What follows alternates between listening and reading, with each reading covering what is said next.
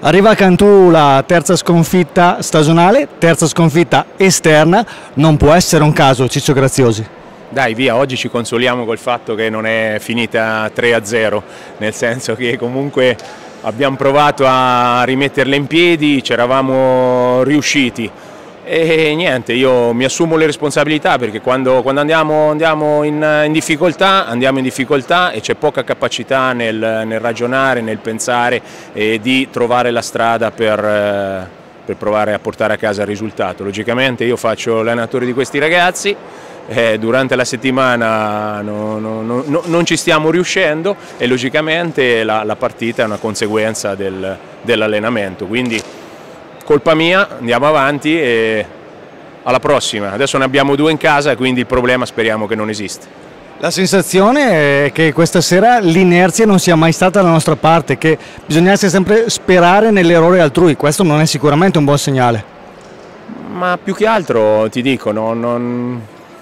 ecco perché ti dico mi, mi assumo la responsabilità, non, non, non, leggiamo la partita, non capiamo quello che c'è da fare in in ogni singolo, in ogni singolo momento dell'incontro, cioè in dei momenti magari spingiamo facendo degli errori banali, in altri momenti invece dove non serve spingere eh, magari non spingiamo e quindi via, dobbiamo abituarci. Io, io, capisco che in allenamento per noi è complicato riportare no, queste situazioni, bisogna che impariamo da queste esperienze ad allenarci e, giocando, del resto la passata stagione no, come... Sapete com'è andata? Abbiamo dominato il campionato senza mai problemi, senza mai difficoltà e poi è andata come è andata. Quest'anno via, speriamo che queste sconfitte ci, ci facciano capire che le partite vanno, vanno, vissute sul campo e vanno vissute punto a punto ed ogni partita è differente e oltretutto la partita non è mai uguale a quella che purtroppo no, si prepara il eh, giovedì, venerdì e sabato perché l'avversario dall'altra parte fa di tutto per metterti in, in difficoltà. Quindi via, lavoriamo con, con calma, con fiducia e ti dico, dai, adesso ne, ne affrontiamo due, due, in casa e quindi speriamo che il problema non sussista. E infatti proprio questo, guardiamo, guardiamo oltre, il fattore casalingo può aiutarci in questo momento, avremo due impegni comunque molto molto difficili.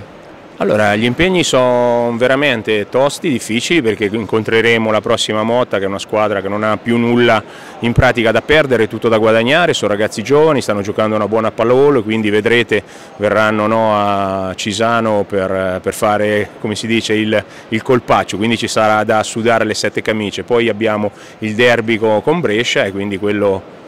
eh, si, si, commenta, si commenta da solo. Però ti dico, dai, adesso al di là di in casa, fuori, fuori in casa, dobbiamo imparare a leggere le partite, non, ma a volte anch'io, eh, a intestardirci su alcune situazioni che magari abbiamo preparato e poi magari ecco, in, in campo non, non si verificano, bisogna avere la capacità e la bravura di cambiare velocemente.